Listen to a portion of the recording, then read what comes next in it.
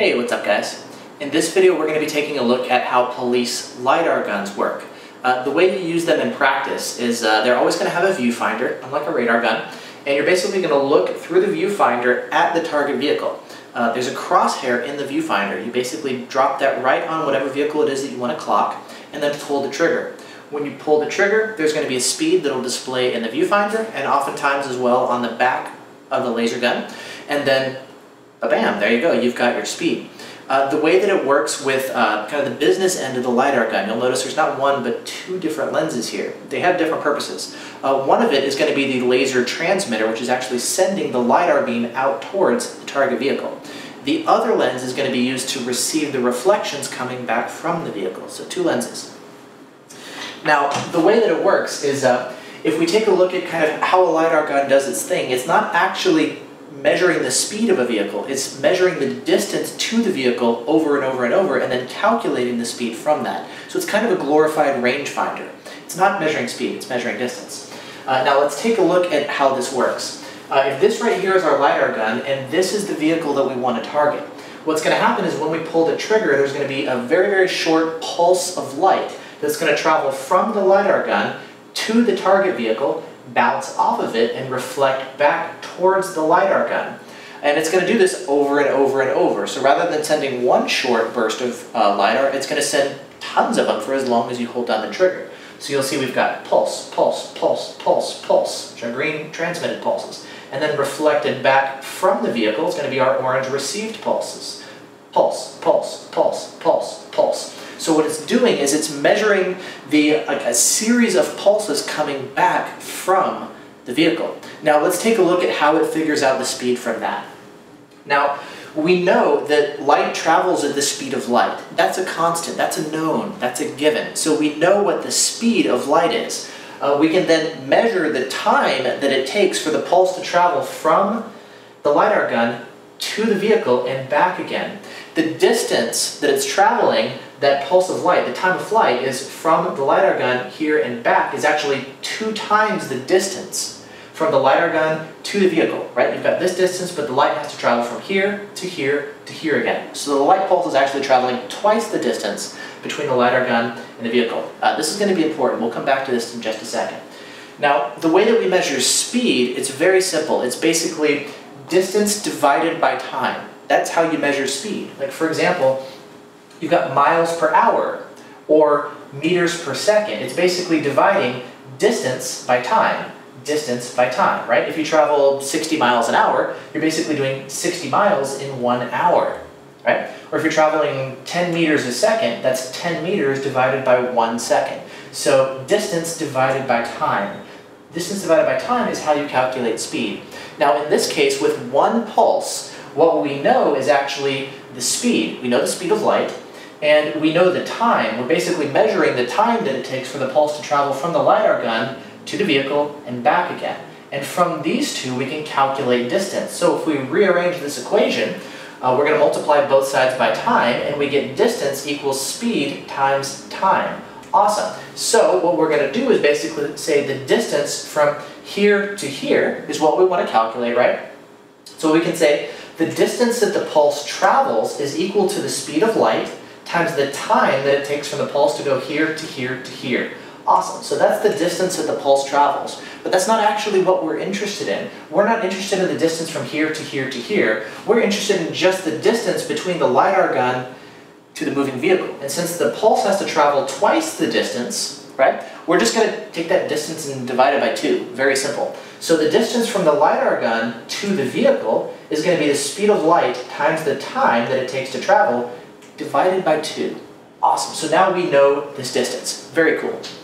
So now what we're going to do is we can take a look back again and we can say, okay, well, now I can calculate distance. Very cool, but I'm not concerned with how far away the target is from me. I want to know the speed of that target, right? How do I calculate the target speed from the distance? Well, if I can measure the change in distance divided by the change in time, I can calculate the speed.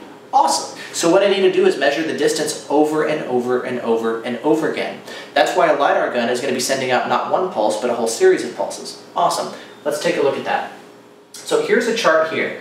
uh, we're going to be taking a look at, again, if we go up here, green is going to be our transmitted pulses, and orange is going to be our reflected received pulses, right? So let's take a look. We've got a series of pulses. If we look at just the green pulses, we're going to be transmitting pulse, pulse, pulse, pulse, pulse. Cool. And then, again, it's going to take time for that light to travel to the vehicle and back again.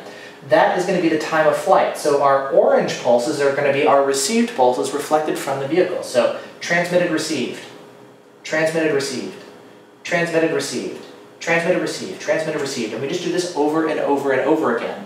And we know that the time of flight is the distance between when we transmit our pulse and when we receive our pulse, right? That's going to be our time of flight, which again we can plug into our equation here. So the distance from the LiDAR gun to the vehicle is going to be the speed of light times the time of flight divided by 2. Awesome. So now we're going to be able to measure the distance over and over, turn that into speed. Let's do that. So let's say that our, uh, our example LiDAR gun just happens to be designed to, pro designed to transmit at 100 pulses per second.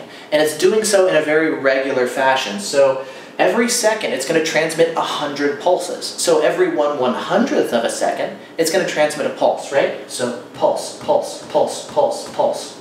Cool. Now let's say that every time it transmits a pulse, it measures the distance of the vehicle and it just so happens that uh, with pulse 1 we're going to be measuring the distance to our target is going to be 1,000 feet. The next pulse, 999 feet, then 998, then 997. And we're noticing that as we're measuring this series of pulses, the vehicle is going to be getting a foot closer with every pulse. After 100 pulses, the vehicle is now only 900 feet away. Cool. So what does this tell us? This tells us that uh, you know, every time we shoot a pulse, which happens one one hundredth of a second, the vehicle moves a foot closer towards us. So it travels one foot every one one hundredth of a second. Cool. Now we know that after a hundred pulses, the vehicle has traveled a hundred feet. So it's traveling 100 feet every second. So that's the speed of our vehicle. It's traveling 100 feet per second. Now we can just do some really simple math and convert feet per second to miles per hour, and now we have our vehicle speed and a unit of measurement that we use commonly, which happens to be miles per hour. So there we go. If we happen to be seeing return distances like this, we can then calculate that a vehicle moving, you know, at these distances would translate to a speed of 68 miles per hour. And then in the viewfinder and on the back of the LiDAR gun, it'll display 68 miles per hour. That's how a LiDAR gun gets to speed. Now, a quick note we could theoretically calculate it by just two different pulses. If all we need to know is the change in distance divided by the change in time, we could just take a look at the change in distance, which is one foot, and divide it by the change in time, which is one one hundredth of a second, and we could then calculate a speed. However, the typical signal acquisition speed for a LiDAR gun is generally about a third of a second, and it's for a reason. They want a whole series of pulses. You know, when a, a, a police officer is going to be getting a speeding ticket, they have to verify that, yes, my LiDAR gun works properly, it's been calibrated, certified, all this kind of stuff, and they have to say that, you know, my LiDAR gun is working properly so that it holds up in court. So one of the things that uh, the LiDAR gun manufacturers have done is they want to make sure that they have a really good lock. You know, if your hands are shaking, the LiDAR gun is going to be shooting all over the place, and you're going to get really wonky results. If these distances are moving because you're shooting at maybe different parts of the car, again, you're going to get really wonky results. So what the LiDAR gun is going to look for is a very predictable, steady set of distances like this that makes sense, you know? If the uh, distances are going all over the place, the LiDAR gun is like, this doesn't make any sense, I'm not going to return a speed. So what the LiDAR gun is looking for is a series of return pulses that look like something that makes sense. It looks like a vehicle that's driving towards the LiDAR gun, or a vehicle that's driving away, right? And so it's for that reason that you have to have a whole bunch of different pulses for it to operate. So while in theory, mathematically, you could just take a look at two pulses, the LiDAR gun is going to wait until it has a whole bunch of pulses in order to calculate a speed. Therefore, it can say that I'm much more confident that the speed that I'm displaying makes sense and it really is the moving speed of the target vehicle. So there you go. That's how a LiDAR gun works. It's basically measuring you know, the change in distance over time and then using that to calculate the speed. So, cool. Uh, if you're wondering how a radar gun works, it actually uses a completely different principle. It's not the same thing as a LiDAR gun. So if you're wondering about how a radar gun works, uh, take a look at my video on how police radar guns work. You can click on the video on screen or click in the link uh, in the video description. So, cool. Uh, thanks for watching. If you guys have any questions, please feel free to ask. Uh, make sure that you subscribe, like, do all that cool YouTubey stuff. And uh, awesome. Thanks for watching. Catch you guys next time. Bye-bye.